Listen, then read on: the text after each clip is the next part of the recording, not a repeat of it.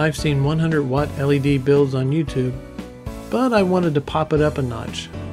This 200 watt light puts out a little over 20,000 lumen. Let's take a closer look at this light, which has a flood type design. I had to drill holes in the side because the heat sinks for the LED and the voltage booster need airflow. The light runs on four 11.1 volt 5000 milliamp hour batteries, which are wired in series and parallel. So I have 22.2 volts, 10,000 milliamps going into the voltage booster for the LED.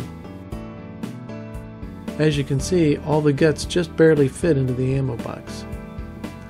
If you're interested in building this light, the instructions are posted on candlepowerforums.com.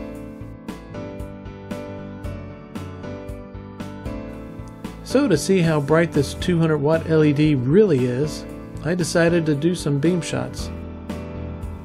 I put it up against a 7000 lumen HID spotlight with a diffuser.